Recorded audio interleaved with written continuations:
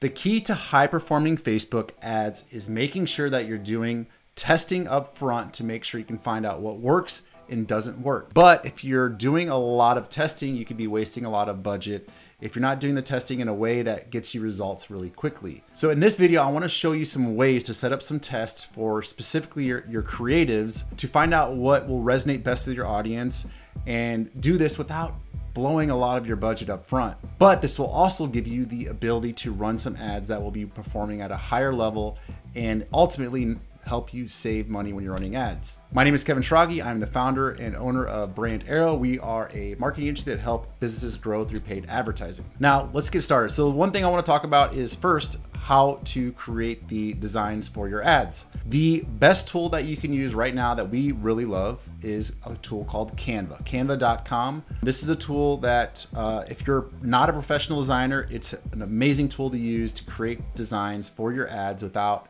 having to be a professional designer. But if you are a professional designer, you're probably going to stick with your, your Photoshops and Illustrator type apps. But I want to dive in real quickly to Canva and I want to show you how you can create some creatives for your ads very, very quickly. And then I'll show you how to run tests on those.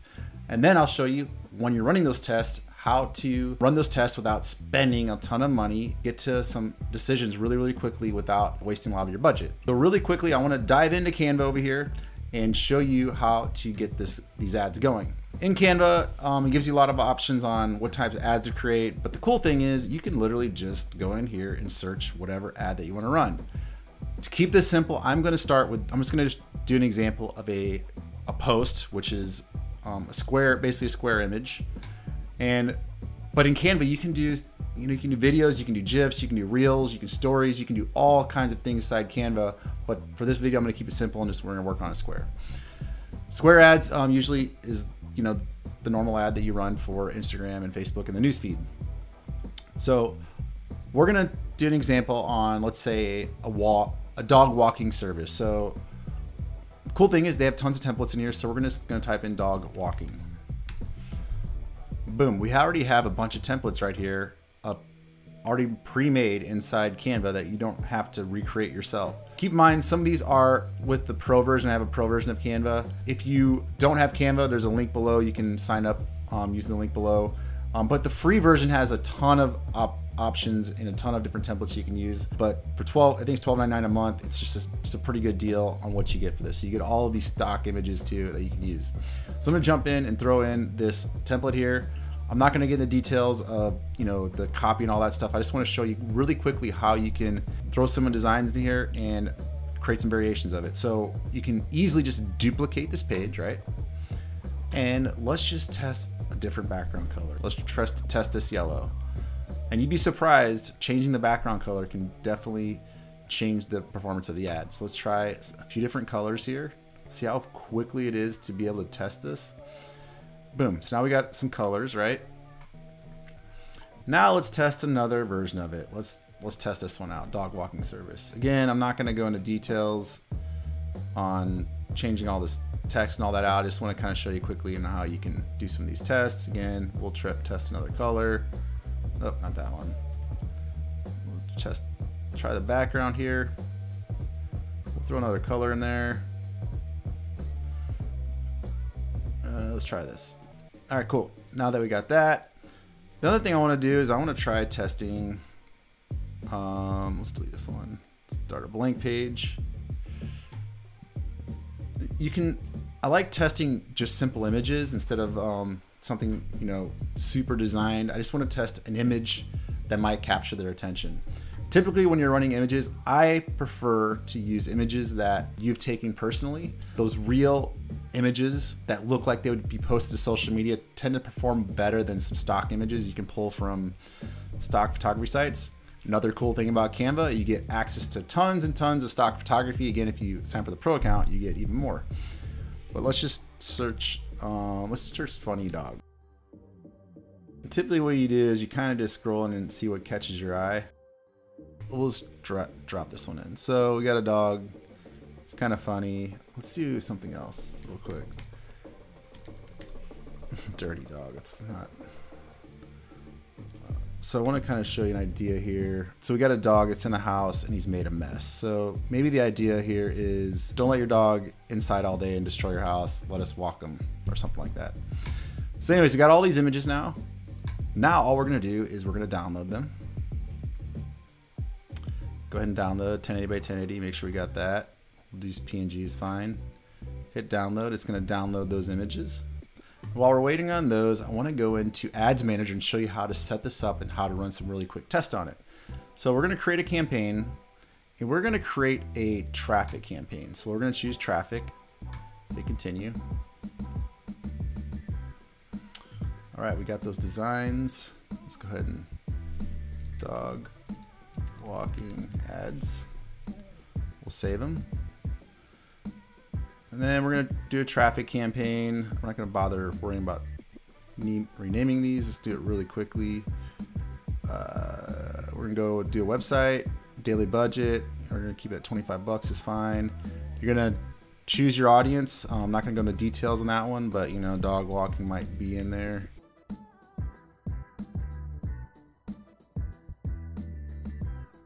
Uh, go to edit, sorry. That's what's going on. People living in, we want to do living in. We'll say we're in San Diego. We'll choose San Diego. We'll do 50 miles. All right. Age we don't really care about right now. And then there it is, show more options. Detailed targeting. I'm not sure why it's not turned on. All right, dog walking. All right, dog walking. Um, probably not the best audience to choose from, but we're just going to test it. Now, after you get your audience figured out, you usually don't want to do too small of an audience. You want to have a generally larger audience. Um, this is local, so it's going to be pretty small, but if you're nationwide, I would try to get it up to that 5 million mark. If you get too narrow, it's going to be difficult for this thing to um, get to the audience and perform well. Now optimization ad for ad delivery, we're gonna do link clicks. Make sure it's link clicks. And then traffic ad. Um, typically what I'm doing here is I'm just doing 1.1 or sorry, image one. Then you can image two, image three, just go down the line. So you don't have to be complicated here. Choose Brandarrow, single image here. Dynamic image experiences we're gonna turn off. And we're gonna go ahead and add all those images. So, all right, I'm gonna go and upload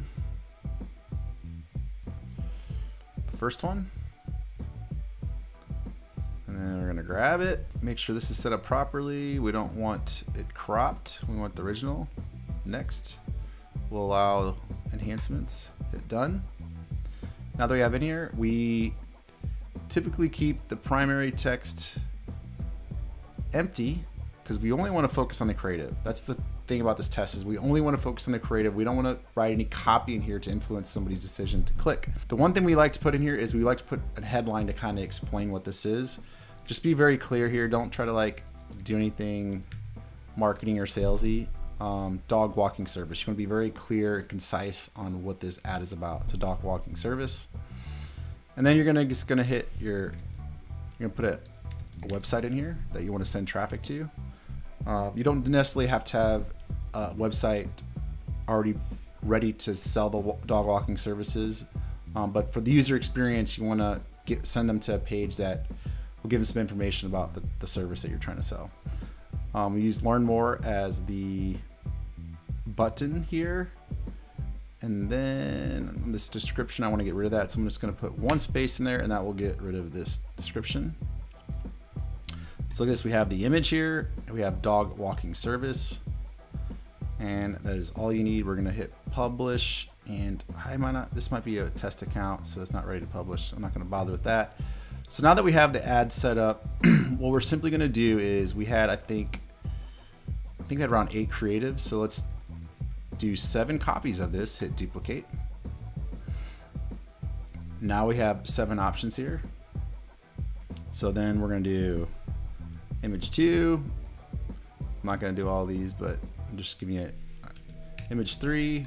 So I have one, two, three, four, we'll rename all the image one, two, three, four, five, six, seven. Um, you can name these any ways you want, but this is kind of the easiest way to do it.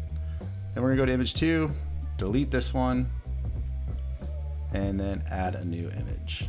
Let's upload the new one. I think it's the same as this one. Again, we're gonna make sure the image is still the original. We don't want it to get cropped. Done. Cool. So you're gonna do that seven times, add all those images, and then when you're done, you're gonna have seven different images and seven different ads. So now what we're gonna do is we're gonna go back to the campaign level and we're gonna set a rule to only run to 500 impressions because we don't want this to run for a very long time and waste a lot of money. We're gonna run to 500 impressions. We feel like after 500 impressions, we have a good idea which one will perform better over the other. So go to rule, create a new rule, custom rule. We're just gonna do impressions greater than 500. And then we're gonna do all actives, active ads in one campaign, turn off ad, impressions, it's greater than 500, ad. So impressions greater than 500, we will turn off the ad. Run continuously. I don't want to get those emails, so we'll turn that off and hit create. And now this when this ad these ads run, each ad will run to 500 impressions and then it will shut the ad off. And now you can start looking at the data to see which ad is testing the best. Now, whenever you're ads are done running, what do you need to look for? So here's a couple things that I would look for. One, I would look for click-through rate. Look which which ads are getting the highest click-through rate. Uh, you also want to look at see which one's getting the most clicks, and then also look at cost per click as well. So take your top performing ads, and then from there you can start testing copy from it, or maybe you start seeing a theme of like certain images that are testing well and maybe start testing some more images around that theme. But the idea is just continuously do these these tests to find out what works and what doesn't work. And if you run this test and you get no clicks and the click-through rate's really low, just start running run some more images and test different images. You can do this with videos, you can do this with GIFs, you can do this with uh, Reels, um, and you're basically just trying to test to see who is clicking on your ads and which ad is getting the most clicks. So that's why we're testing for traffic, we're testing for link clicks. So if somebody's clicking on the ad, that means they're giving you some idea that they're interested. So that is the easiest way to run test for creative. Um, then once you find your, your best creatives, you start writing copy for your ad. Sometimes it's better actually to write the copy first and test the copy first. And then once you have a cop the copy that tests well, start tr- trying to put some creative around that message that you're writing. But anyways, th- this is the best way to, at least in our opinion, to run tests without breaking the budget and spending tons and tons of money. You know, running ads for you know two weeks, 30 days, whatever. You don't want to run these things forever before you're making a decision. You want to make a decision quickly, and then put it into um, production mode and, and, actually run it as an ad. If you enjoyed this video, we appreciate uh, a quick like. Also, be sure to subscribe. We, we release these videos at least once a week. If you want to stay updated on all the videos that we're releasing, make sure you hit subscribe and then hit the notification bell. But I really appreciate you guys um, supporting the channel and watching these videos. Uh, we're going to go ahead and take off and we'll start recording some more videos. Thanks.